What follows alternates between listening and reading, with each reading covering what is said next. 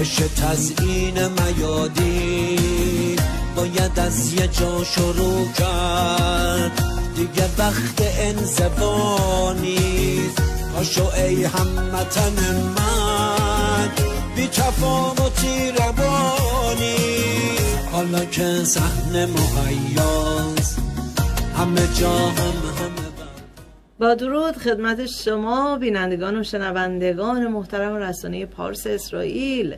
پریسا هستم بسیار خورسندم از اینکه می‌تونم یک بار دیگه از استدیوی اسرائیل پارسیوی با شما عزیزان باشم و مهمترین خبرها و رویدادهای ایران اسرائیل و جهان رو با آگاهی شما عزیزان برسونم. امروز پنجشنبه 13 آپریل 2023 میلادی برابر با 24 فروردین 1402 خورشیدی تازی سال 2582 شاهنشاهی است و همچنین خافبت به نیسان به تاریخ 5783 عبری است دوستان لازم یادآوری کنم همچنان برنامه های ما رو می‌تونید از طریق ماهواره های GLWiZ و TV Box دنبال کنید. برنامه های ما از طریق دو اپلیکیشن Parsa TV و سرچشم TV به راحتی در گوگل قابل دسترسی است. همچنین می‌تونید از طریق وبسایت ما با آدرس www.pars خط فاصله اسرائیل نقطه com برنامه ما رو دنبال کنید. با ما همراه باشید در شبکه های اجتماعی مثل فیسبوک، تلگرام و اینستاگرام هم برنامه خبری ما به اشتراک گذاشته میشه. دوستان عزیزم تمنا دارم در یوتیوب. ما رو subscribe کنید. بتونیم از طریق اون رسانه هم آگاهی رسانی رو گسترده تر انجام بدیم و همچنین کمکی باشه برای پناهجویان در ترکیه. خب دوستان خوبم در اینجا می‌پردازیم به پیشبینی دمای هوا در اسرائیل. ضمن اینکه باید بگم دیروز و دیشب بسیاری از شهرهای اسرائیل آب و هواشون بسیار بارانی و طوفانی بود و خب در برخی نقاط هم باعث وحشت و نگرانی شد. ولی خب آخر هفته رو گفتن آخر هفته آفتابی خواهیم داشت.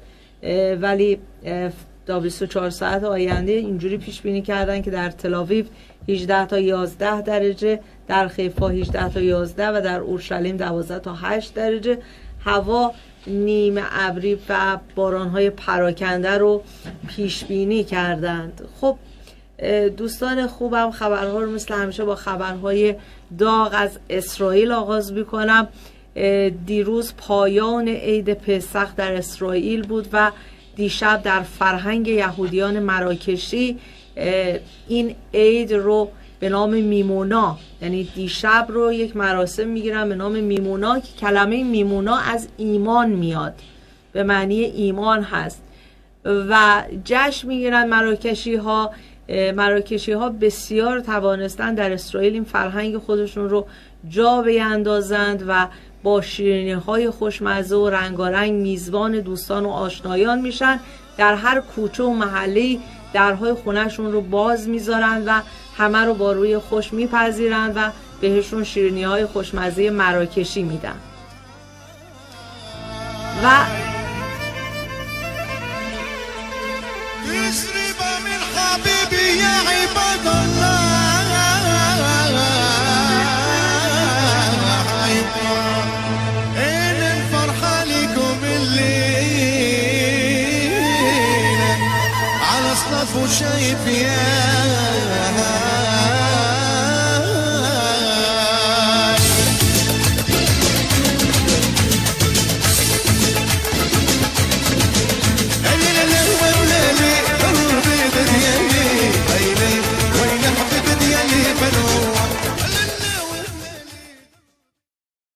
هم بسیاری از سران دولت اسرائیل در این جشن ها شرکت کردند و خب چهره های سیاسی زیادی توی شبکه های اجتماعی تصویرشون منتشر شد که در این جشن ها بودن. برای این میگم که مراکشی ها در در واقع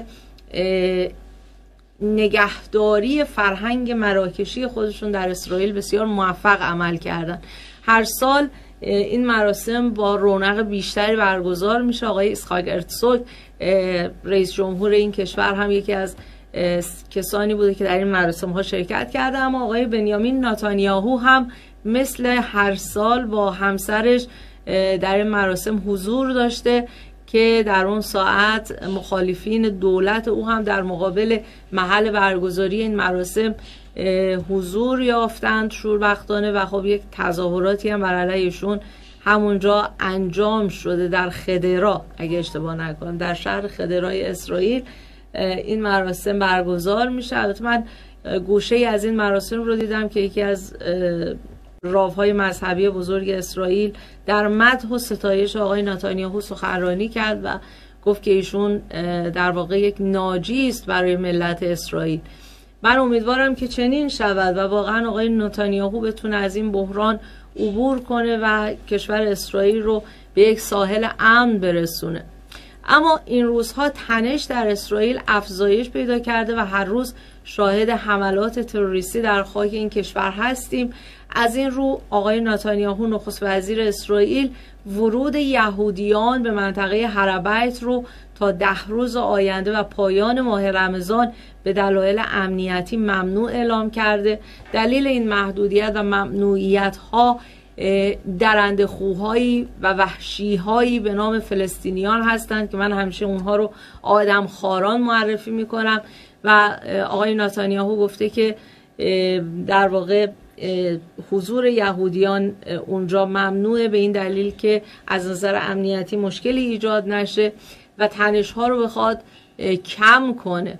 می‌دونین که اونجا یک منطقه است که هم یهودیان براشون منطقه مقدسیه هم مسلمانان اعراب اسرائیلی و فلسطینی چون هم مسجد الاقصا اونجا واقع شده و هم دیوار نوبه بیت المقدس و از این رو همه می‌خوان اونجا برن و زیارت کنن عبادت کنند حالا عقاید مذهبی دارن یا هر چیز دیگه. قبلا یکی از وزرای آقای ناتانیاهو به نام بنگویر اعتراض می‌کرد نسبت به اینکه چرا یهودیان ممانعت دولت ها ایجاد می‌کنن برای که یهودیان به این مناطق برن در ماه رمزون و یهودیان باید بتونن مثل مسلمانان عرب اونجا حضور داشته باشن. چون جز خاک اسرائیل محسوب میشه و همه باید بتونن آزادانه و با امنیت فردی رفت آمد کنن. اما خیلی هم میان اعتراض می‌کنن میگن خب چطور عرب های فلسطینی می‌تونن بیان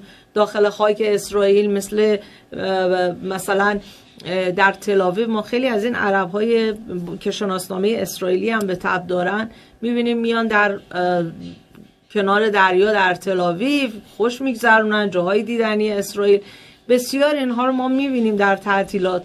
و خیلی راحت میان خرید می‌کنن در مراکز فروشگاه های مال فروشگاه های بزرگ. ما بسیار از این عرب ها هم می‌بینیم که دارن کار می‌کنن هم می‌بینیم خرید می‌کنن در بیمارستان ها همچنین. چرا اونها به راحتی می‌تونن وارد شهرهای ما بشن و عبور و مرور کنن کار کنن امرار معاش کنن؟ ولی یک یهودی نمی‌تونه به منطقه بره که در واقع تعداد زیادی از اونها اونجا زندگی می‌کنن.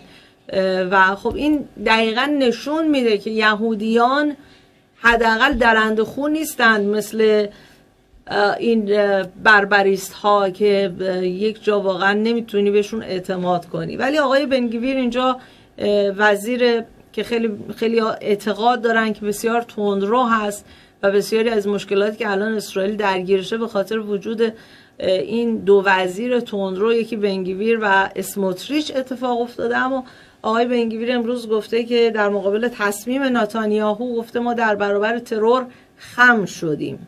بله. و به حال این نشون میده که تصویری که می‌بینید تصویر آقای بنگویر هست که خودش هم بارها از این منطقه دیدن کرده یعنی رفته اومده و میگه که ما یهودیان اسرائیل نباید بترسیم باید در این مناطق حضور پیدا کنیم. همونطور که یک عرب می‌تونه بیاد و در شهرهای اسرائیل به راحتی و با امنیت کامل قدم بزنه حضور پیدا کنه کار کنه و ما هم باید به همین نسبت به همین شکل باشیم. اما دیروز تیم بسکتبال هپوئل یروشالیم اسرائیل در آتن یونان مقابل تیم این کشور مسابقه داد و با اینکه اسرائیلی ها این بازی رو باخته بودند یعنی حالا اگه برده بودند می‌گفتیم خب به قول معروف حرسشون گرفته از اینکه یهودیا بردن. ولی اسرائیلیا این بازی رو میبازن. ولی از ناحیه افرادی با دیدگاه و ایدئولوژی های ضد اسرائیلی مورد حمله قرار گرفتند و چندین شاهد عینی تعریف می‌کنن که حتی خطر, جان، خطر جانی برشون دنبال داشته یعنی تهدیدشون می‌کرده. اجسامی به طرف اونها پرتاب شده.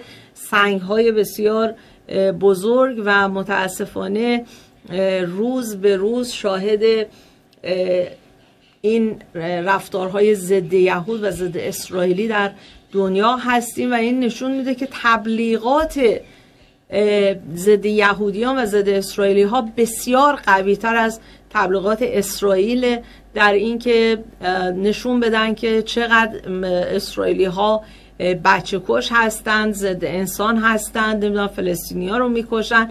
ولی واقعیت رو کسی نیست که برای مردم توضیح بده مردم دنیا رو آگاه کنه. و من بارها گفتم از این ناحیه در عجبم که چرا اسرائیل به اندازه کافی سرمایه گذاری نمی‌کنه در این رابطه که بتونه کانال هایی رو داشته باشه که حقایق رو یعنی آنچه که ما در اسرائیل زندگی می‌کنیم و هر روز داریم با چشمانمون می‌بینیم رو به دنیا انعکاس بده و بگه که واقعیت امر چی هست و چطور شهروندان اسرائیلی به دست این تروریست ها کشته میشن. و خب اخیرا بدونین که دولت آقای ناتانیاهو اومده یک وزارتخونه جدیدی رو تأسیس کرده به نام وزارت توضیحات که در واقع سخنگوی دولت باشه. من امیدوارم که بتونن موفق باشن در این امر و تبلیغات وسیع رو انجام بدن از آنچه که واقعیت داره. امروز در کره جنوبی یک اتوبوس از توریست های اسرائیلی دچار سانحه بسیار وحشتناکی میشه. 33 نفر از سرنشینان این اتوبوس شهروندان اسرائیلی بودن که رفته بودن اونجا واسه تفریح. شوربختانه مجروح و مصدوم شدن و خبرهایی که حاکی از اینه که ده نفرشون ظاهرا وضعیت خوبی ندارن سلامتیشون در خطره و باید ببینیم که خبرهای آینده چه خواهد گفت در این زمینه و خب قطعا وزارت امور خارجه اسرائیل دنبال اینه که بهشون امداد رسانی کنه. و ظاهرا یه نفرم دوستان در این حادثه جانش رو از دست داده که هنوز هویتش آشکار نیست. این خبر رو تازه وبسایت های اسرائیلی انعکاس دادن.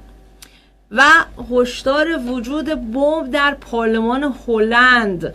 که باعث شد که همین ساعت گذشته پارلمان هلند کاملا تخلیه بشه و گفتن که ساختمان پارلمان هلند همین ساعتی گذشته اعلام کردن که خطر وجود بمب اونجا کاملا براشون مسلم بوده و پارلمان رو تخلیه کردن. من امیدوارم این اروپایی ها چند تا حادثه تروریستی اتفاق بیفته که متوجه بشن که چقدر می‌تونه خطرناک باشه. هویت دادن به جمهوری اسلامی در منطقه و مادر همه تروریست های جهان که خامنه ایست رو باید سرنگون کرد تا همه ترورها به نوعی آرام بشه. امیدوارم البته. و سفر دبیر کل جهاد اسلامی فلسطین به عراق. جهاد اسلامی که می‌دونیم مستقیم از جمهوری اسلامی حقوق می‌گیره تمن مالی میشه و زیاد النخاله چهارشنبه شب رفته به عراق که اونجا وارد گفتگو بشه با مقامات کشور عراق. می‌دونین که الان اخیرا هم جمهوری اسلامی به راه افتاده برای اینکه در منطقه یک اتحادی ایجاد کنه. حتی سر خم فرود آورد مقابل عربستان سعودی و الان نوچه هاشون جهاد اسلامی و خماس هم توی لبنان با خرس نسل الله ملاقات داشتن و به حال نشون میده که حسابی جمهوری اسلامی برای تثبیت خودش توی منطقه داره تلاش می‌کنه. و اینم قابل توجه خیلی از سیاستمداران دوستان رسانه های چپ جهان و همچنین رسانه های اسرائیلی دارن اخیرا تبلیغات می‌کنن که ارزش پول اسرائیل شکل پایین اومده و در مقابل دلار و دلار گرونتر شده توی این روزهای گذشته و البته این رو گفتن به این دلیل که اخیرا روابط بین اسرائیل و آمریکا خدشه درش وارد شده. یعنی یک کم ظاهرا بعد از اینکه پسر آقای ناتانیاهو اون صحبت رو مطرح کرده بود از این داستان ها ولی من چنین چیزی رو باور نمی کنم به این دلیل که داریم می‌بینیم شرایط در منطقه رو اگرم الان ارزش پول اسرائیل پایین اومده قطعا نمی‌تونه ادامه پیدا کنه. قطعا اتفاقاتی خواهد افتاد. به این دلیل که آمریکا بیشتر از همیشه به اسرائیل احتیاج داره در منطقه. از اون طرف روسیه و چین و حتی عربستان سعودی و ایران افغانستان. حتی امروز افغانستان هم وارد این داستان شده. همه با هم دارن یک اجماع تشکیل میدن یه اعتلاف تشکیل میدن و قطعا تو این گیرودار آمریکا هرگز نمیاد روابطش با اسرائیل رو خدشدار کنه و قطعا این پروپاگاندای کانال های اسرائیلی و مخالفین آقای ناتانیاهو جواب نخواهد داد. اما ببینید با پول مردم ایران چه می‌کنن؟ بیشتر از همه دلم برای این موضوع میسوزه. وقتی می‌بینم که بچه ها توی سطرهای زباله دنبال غذا میگردن ولی این دشخیمان این انیرانیان میان و پول ملت ایران رو صرف ساخت آخوند می‌کنن توی این حوزه های جلیه و می‌خوان که اسلامشون رو صادر کنن اسلام شیعه رو و افغانستان به عربستان به یمن به کشورهای آفریقایی حتی و ببینید که چی ساختن. سلام روز پدر مبارک. جراباتون هدیه گرفتید؟ در جواب بیبی ازتون در حال تولید برنامه واسه شب قدر در تلویزیون شبکه مهدی هستیم که برنامه انشالله ارسال میشه برای آفریقا. اتفاقاتی افتاد که داره یواش یواش اون حکومت حسینی داره تشکیل میشه. یا مولا یا مولا یا مولا. حسین یا مولا. حسین یا مولا. جرب شرياني جرب شرياني جرب كل قطرة جرب كل قطرة جرب كل قطرة عزيز الزهراء حسين يا مولا يا مولا يا مولا حسين يا مولا يا ابن الزهراء يا حسين يا ابن الزهراء يا حسين بله قیافا رو دیدین. قیافه ها همه آفریقایی بودن. هیچ کدوم ربطی به کشور ما نداشتن ولی با پول ملت ایران این چنین نیروهایی رو تربیت می‌کنن ماهانه بهشون حقوقهای کلان میدن تا بتونن مثلا آفریقایی ها هم تبدیل کنن به شیعه مسلمان. و این خطرناکه. اول برای مردم ایران خطرناکه و بعد برای جهان خطرناکه. اما توهم بایدن بازم سوژه ساز رسانه هاشو دوباره یه عالمه دارن بهش میخندن. بایدن نخست وزیر بریتانیا رو اصلا تشخیص نمیده. اصلا نمی‌فهمه که این نخست وزیر بریتانیاست با دستش اینو پرت می‌کنه اون طرف و بعد یک احترام نظامی می‌ذاره به پادشاه, عرب، پادشاه انگلستان ظاهرا یا یکی از مقامات پادشاه انگلستان. ببینید که چقدر خنده داره که نخست وزیر بریتانیا رو با دستش پرت می‌کنه کنار.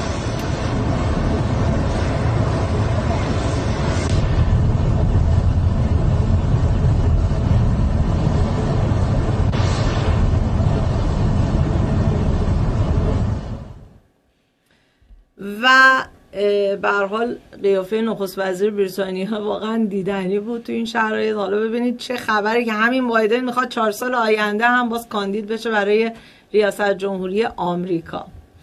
و اما یک شرکت کشتیرانی به نام ادمیرال متعلق به پسر علی شمخانی است که در بندر خیفای کشور اسرائیل هم نمایندگیش فعاله.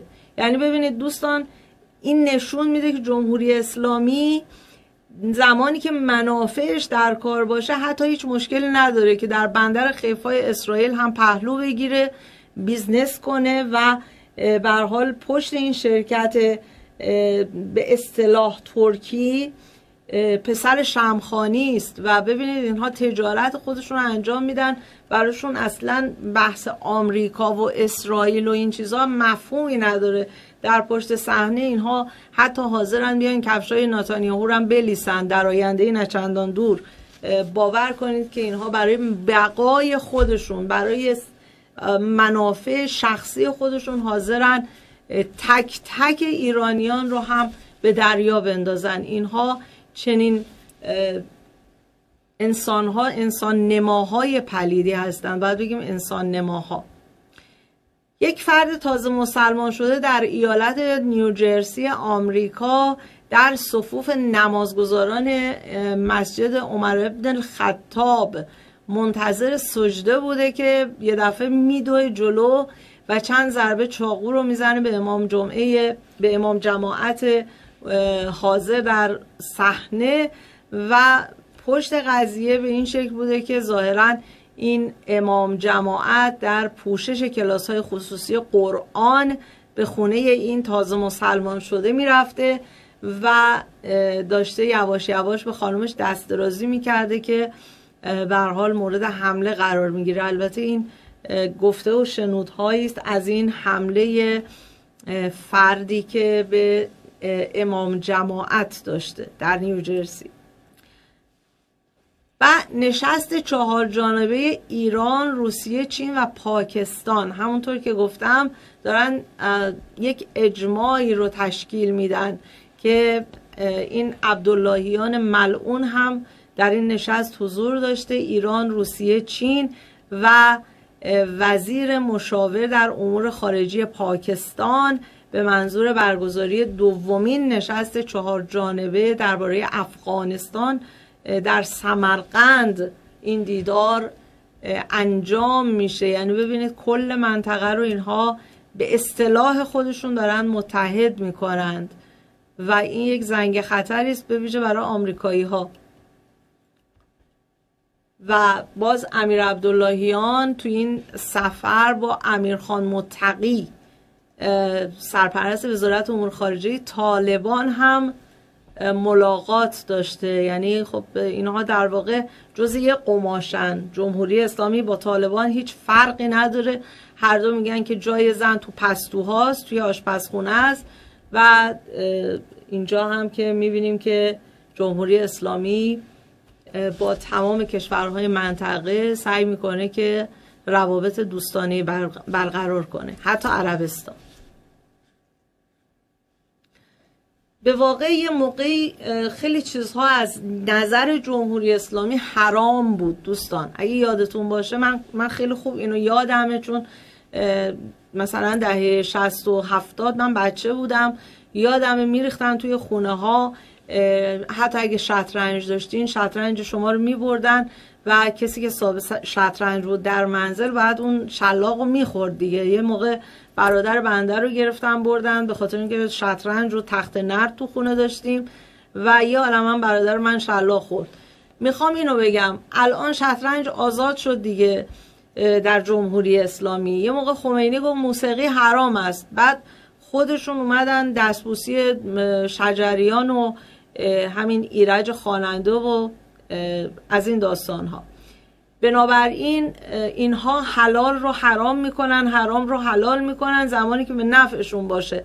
یه زمان هم گفتن ارتباط با عربستان حرامه و عربستان چیکار کرده؟ ال کرده بل کرده. حالا دیدین که حتی حجاج رو اینها بهشون تجاوز کرده بودن. یادتون که نرفته. و الان رابطه با عربستان خیلی هم درست شد دیگه. برادران مسلمان و از این داستان ها بر حال وای بر زنانی که من اسم اینها رو می‌ذارم ماده ها یعنی زن هم حتی نباید به اینها گفت زنان. حالا خیلی محترمانه ما میگیم بانوان ایرانی ولی اینها زنان سیغهی هستند که هر دقیقه با یکی از عوامل جمهوری اسلامی حاضرن برن زیر لحاف و اینجا در حضور خامنه ای ببینید که چه شعرها من به این نمیگم شعر شعر و ور در واقع. می سرایند که خامنه ای خوشایندش باشه برای مقام زن.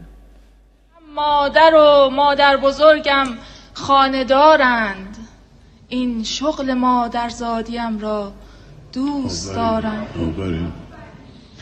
هم مادر و مادر بزرگم خاندارند این شغل مادرزادیم را دوست دارم.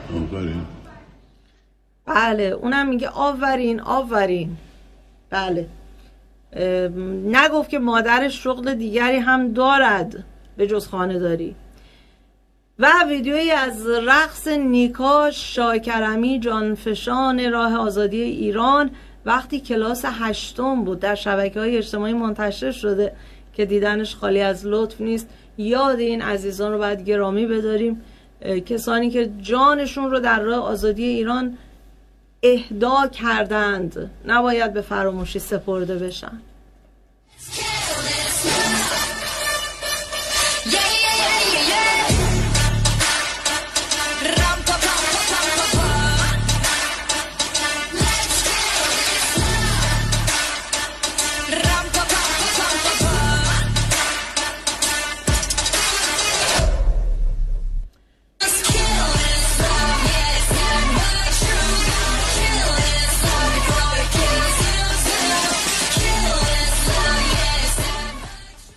یادش گرامی باد و راهش تا ابد جاویدان.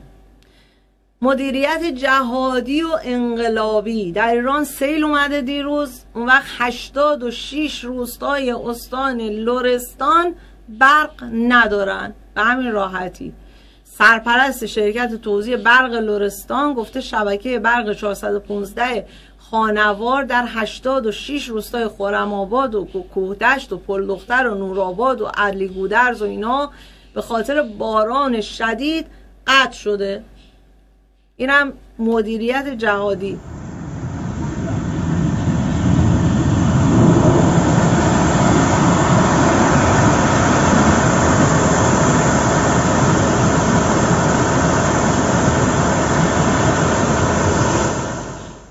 شبکه آبرسانیشون هم دچار مشکل شده. لوله های آبرسانیشون هم قطع شده. شما که هنوز ارزه ندارین در زمان بحران مثل سیل زلزله برای مردم ایران خدمتی بکنید. آب و برق و همه چیشون قطع میشه.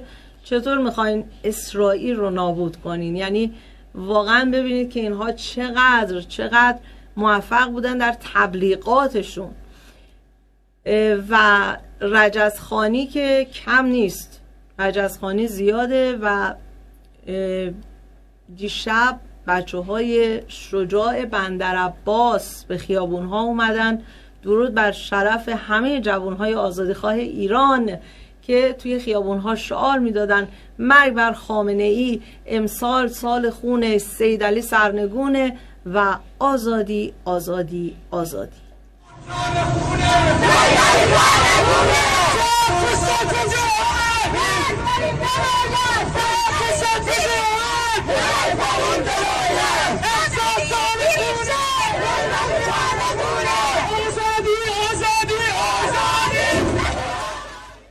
بله به زودی در سراسر ایران مطمئن باشین. خود جمهوری اسلامی هم می‌دونه که در اردیبهشت ماه صد درصد مجددا مردم به خیابون ها سرازیر خواهند شد و همچنین ادامه اعتراضات مردم فرانسه علیه سیاست های مکرون برای افزایش سن بازنشستگی. بله مردم فرانسه همچنان توی خیابون ها اعتراض دارن به این سن بازنشستگی که بیشتر شده و به حال می‌بینیم که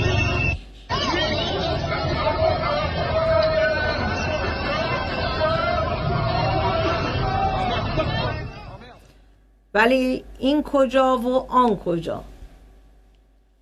مردم در فرانسه چطوری میان توی خیابون و اعتراض می‌کنن و مردم در ایران به چه شکل مورد ضرب و شتم قرار می‌گیرن؟ اما مجمع تشخیص مسلحت نظام گفته مردم باید سختی ها رو تحمل کنن و حتی توصیه کرده بود سید مصطفی میر سلیم عضو همین مجمع تشخیص مسلحت نظام که مردم حتی می‌تونن روز یه بعد غذا بخورن لنگ بپوشن فقط یه ذره نون خورما کافیه براشون. و ببینید تصویری از خودش منتشر شده در زمان پرخوری و یکی نیست به این بگه که میر سلیم چرا خودت گرسنگی رو تحمل نمی کنی واقعا؟ بله. اما نازنین بنیادی توییترش رو بست. صفحه توییترش رو بست و از ظاهرا کار شورای گسستگی که قبلا به اشتباهش می‌گفتن همبستگی با توییت شاهزاده به اتمام رسید. حامد و مسیح و نازی باید برن تعطیلات و می‌بینیم که با اون منشورشون و با اون رفتارشون که در واقع خیلی زود خیلی زود چهره خودشون رو برملا کردن دیگه جا کاملا جایگاه سیاسیشون رو در بین مردم از دست دادن.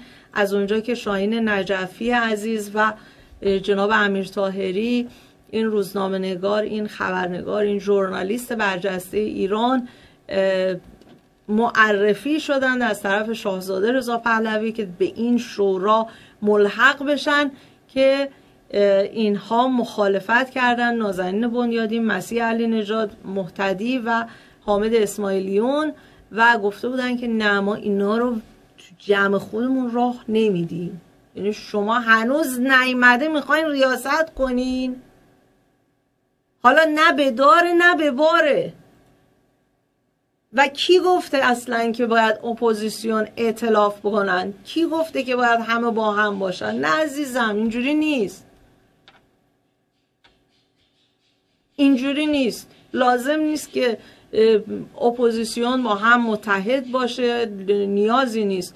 اتفاقی که باید بیفته از داخل باید بیفته و در خارج از کشور هر کسی می‌تونه با هر اعتقادی که داره فعالیت کنه و یک لیدر رو برای خودش بپذیره که قریب به اتفاق مردم شاهزاده رضا پهلوی رو به عنوان بهترین لیدر قبول دارن و هیچ کس و هیچ چیز نمی‌تونست چهره این افراد رو برملا کنه به جز همین اتفاقاتی که تو این زمان اخیر افتاد و خوشبختانه این شورای گسستگی هم برای همیشه پروندهش بسته شد. ببینید آش چقدر شور شده که مداح معروف هم به جمهوری اسلامی تاخته. این مداح از گرانی ها و مشکلات و مسائلی که گریبانگیر جامعه است صحبت می‌کنه و بریم با هم صحبت هاشو بشنویم داریم می‌بینیم که خیلی از نزدیکان به رهبری همین روزها سر و صداشون در اومده و خیلی از آخوندها دارن انتقاد سخت می‌کنن از جمهوری اسلامی و ببینیم این مداح رو معلوم نیست این گرونی ها تا کی می‌خواد ادامه پیدا کنه. حضرت آقا امسال رو سال خواهش تورم و بهار تورم اعلام کردن. سری خودرو رو گرون می‌کنن. الان شما هر چی می‌خوای بخری امروز میری یه قیمت فردا میری یه قیمت دیگه است. گیره از کار مردم باز کنی. از ثواف خونه خدا هم ثوابش بیشتره. حضرت موسی بن جعفر در توافی با یکی از اصحاب دور خونه کعبه دور خونه خدا.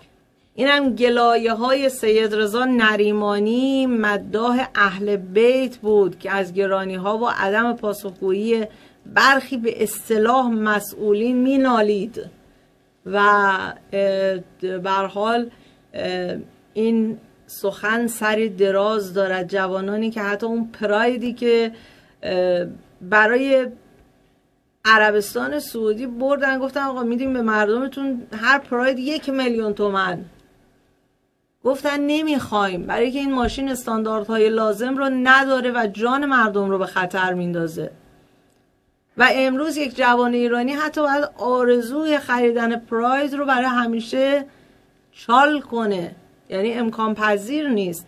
و اظهارات جنجالی یک آخوندی به نام حسین انصاریان رو با هم بریم بشنویم که میگه که همه اهل بیت مذهب اسلام رو تمام کمال انجام نمی‌دادن. و حضرت علی هم هیچ وقت با مردم اینجوری برخورد نمی‌کرد. نه آب روشون میبز نه برق روشون میبز هیچ کدوم از ائمه با مردمی که دین رو تمام کمال انجام نمی‌دادن کاری نداشتن که مثل خامنه ای جلاد یزیده حتی یزید هم که میگن شمرو یزید هم که میگن این خامنه ای جلوشون داره لنگ میندازه. خب یه طایفه هم مؤمن کامل نبودن. همه مسائل ایمانی رو عمل نکردن و نمی‌کنن. لغزش هم دارن. دوچار گناه صغیره میشن. به امام ساقه گو مؤمن دوچار گناه کبیره میشه فرمود. بله ضعیفه تو دام میفته. دوچار گناه کبیره میشه. اینم یه طایف. یه طایفه هم اومدن از کافر شدن. تمام حقایق رو منکر شدن.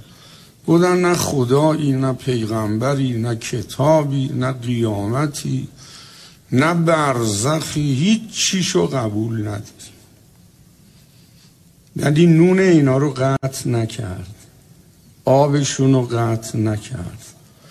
تا لحظه آخر عمر روزیشون رو داد قرآنه کسانی که میشنوید بشنوید خدا با مخالف منکر درگیر روزی نشد. دنیا را از اون منع نکرد.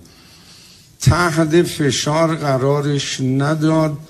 تا وقتی که علم مقدسش نشون داد اینا بعد 950 سال زمان نو توبه نمی کنن.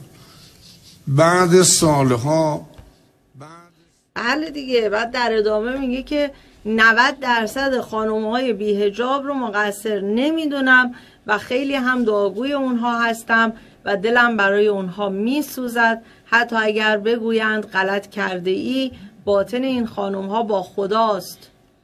و خب این آقا این صحبت ها رو مطرح می‌کنه در مقابل حجاب و می‌بینیم که این روزها جمهوری اسلامی در مقابل بانوان ایرانی واقعا کم آورده. یعنی دیگه نمی‌دونه باید چی کار کنه.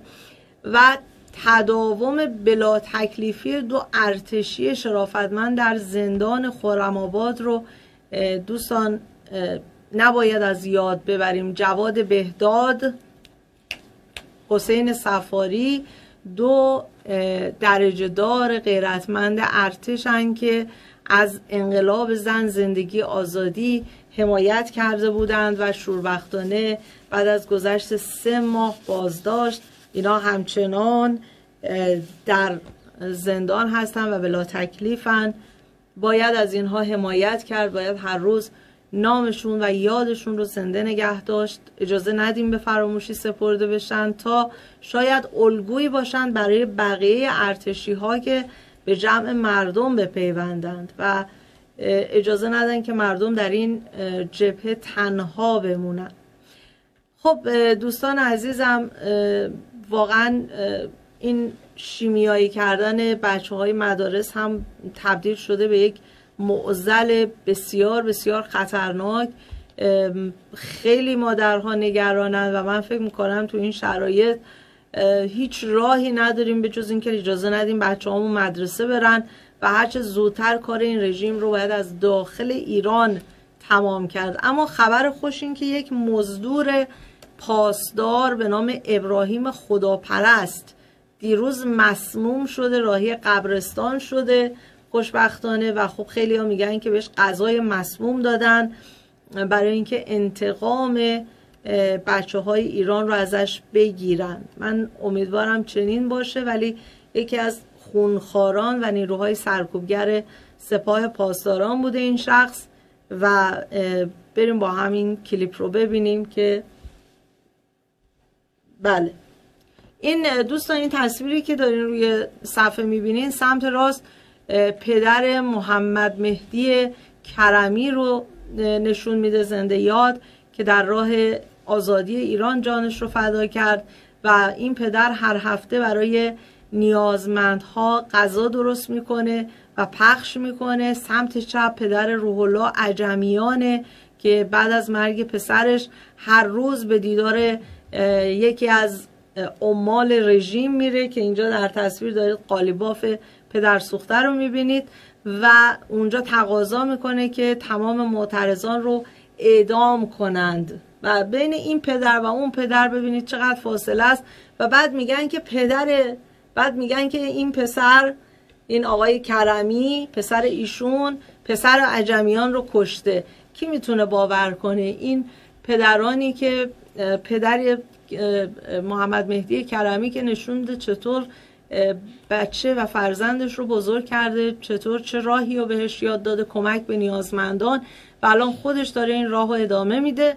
و این عجمیان که عادت کرده با پول مفت زندگی کنه و پسرش که فرستاده بود برای سرکوب مبارزان راه آزادی.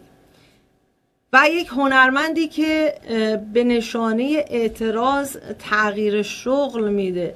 من همیشه گفتم اگر اینجا میگیم آخوند خوب آخوند مرده است. اون کسی که روحانیه و لباس برتن داره و امامه روی سرش می‌ذاره ممکنه بیاد اعتراض کنه و بگه خانم چرا توهین می‌کنی؟ من نه به خون کسی آلوده است من فقط عبادت می‌کنم. آقا اگر شما قبول داری که انسان با شرفی هستی تا زمانی که خامنه ای زنده است و این لباس برتن داره این لباس رو از تنت بکن. تا زمانی که هنرگندان و مزدوران حکومتی دارن به مردم خیانت می‌کنن از جمهوری اسلامی پول می‌گیرن کنسرت می‌ذارن تو لس آنجلس پولشویی می‌کنن توی آلمان یا میان مردم رو در واقع به جای حمایت از مردم به جای اینکه در کنار مردم قرار بگیرن کنار حکومت قرار می‌گیرن درود بر شرف این هنرمند که بازیگر سینما و تئاتر و میاد میاد شغلش رو تغییر میده. تا چنین هنرگندانی هستن شغلش رو تغییر میده. آقای پیام دهکردی. اعلام می‌کنم ختم مذاکرات. من مردم هستم. کار نمی کنم فعلا. بعد دیگه بهتر گذران زندگی.